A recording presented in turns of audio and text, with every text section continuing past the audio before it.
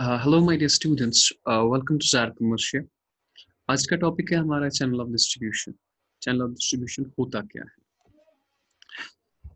Uh, पहले बताता चलो जो चैनल ऑफ़ डिस्ट्रीब्यूशन होता है. इट इज़ अ पाथ जिसके ज़रिए गुड्स जाता है मैन्युफैक्चरर से कंज्यूमर तक. So it's a path or a route along which the goods are moved from manufacturer to producer. चलो मैं एक एग्जांपल दिखाता हूँ. सबसे पहले एक मैन्युफैक्चरर होता है। मैन्युफैक्चरर वो होता है जो प्रोडक्ट को असल में बनाता है। अब ये डायरेक्टली कस्टमर को नहीं बेचता, ये अपने गुड्स होलसेलर्स को बेचता है। और होलसेलर भी डायरेक्टली कस्टमर को नहीं बेचते और वो होलसेलर्स रिटेलर्स को बेचते हैं, जो कि शॉपकीपर्स होते हैं। और ये रिटेलर कंज्यूमर को बेचता है।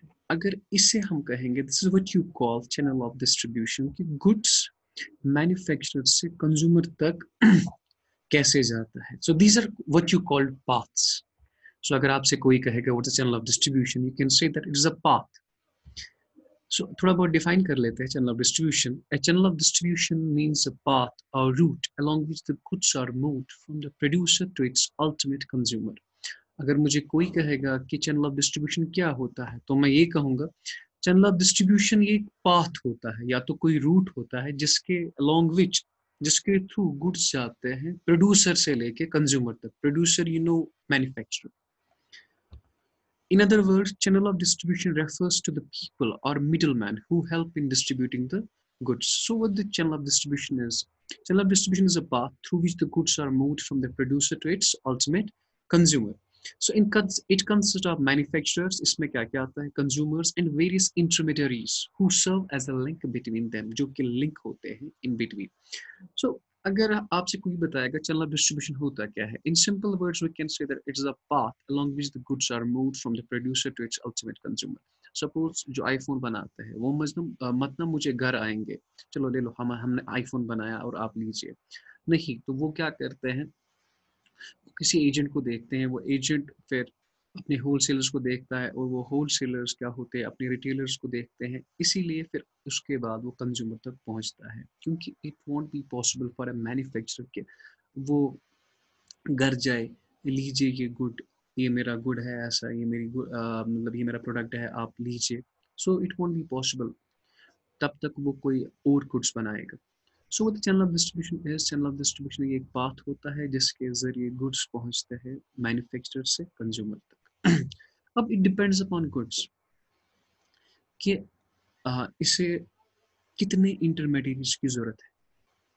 सपोज़ आईफोन कहाँ पे बनता है और वो कश्मीर में पहुँचता है। सो इस इन बिटवीन हमें कितने एजेंट्स की ज़रूरत है यहाँ तक लाने की। So it depends upon the type of a good so अगर मुझे कोई कहेगा कि it's a type of channel distribution for example there is manufacture and there is consumer So अगर there is no agent in between manufacturer and consumer, वो directly goods भेजते हैं। जिसने बनाया उसी ने डायरेक्टली गुड्स भेजा किसे? कंज्यूमर को। उसे कहते हैं ज़ीरो लेवल चैनल मैं रिपीट करता हूँ। मैन्युफैक्चरर ने गुड बनाया। ना ही उसने एजेंट को बेचा, ना ही होलसेलर को बेचा, ना ही रिटेलर को बेचा, इसने डायरेक्टली किसे भेजा कंज्यूमर को। तो इन आर इन आर कश्मीर हम देखते हैं कि वो लोग आते हैं डायरेक्टली गुड्स बेचते हैं हमारे घर में। So these are what you called zero level channel zero level channel वो होता है जहाँ पे मैन्युफैक्चरर डायरेक्टली बेचता है गुड्स किसे? कंज्यूमर को।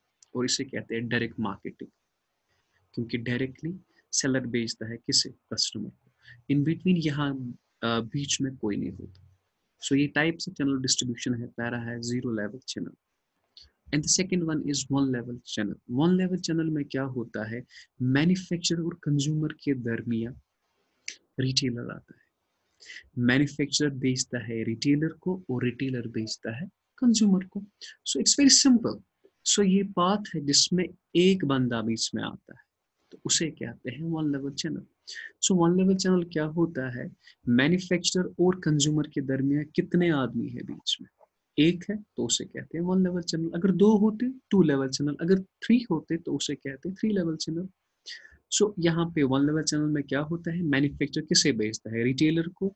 रिटेलर मीन शॉपकीपर और शॉपकीपर किसे बेचता है? कंज्यूमर को. And the second one is two level channel the name itself depicts कि मैन्युफैक्चरर और कंज्यूमर के दरमियान कितने आएँगे? मैन्युफैक्चरर और कंज्यूमर के दरमियान दो आएँगे। मैन्युफैक्चरर होलसेलर को बेचेगा होलसेलर रिटेलर को बेचेगा और रिटेलर किसे बेचेगा कंज्यूमर को। This is what you call two level channel and in between one level channel में एक आता है that's retailer two level channel में दो आते हैं होलसेलर और रिटेलर मैन्युफैक्चर बेचता है पहले होलसेलर को होलसेलर बेचता है, फिर रिटेलर को और रिटेलर बेचता है किसे? कंज्यूमर को। और उसके बाद जो लास्ट है that is three level channel three level channel में क्या होता है? पहले एजेंट आता है।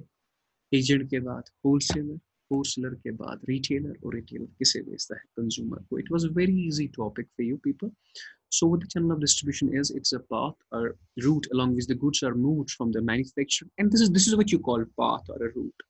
Agent wholesaler and retailer this is what you call your route so यहाँ पे कितने रूट्स बने? यहाँ पे थ्री लेवल चैनल बने।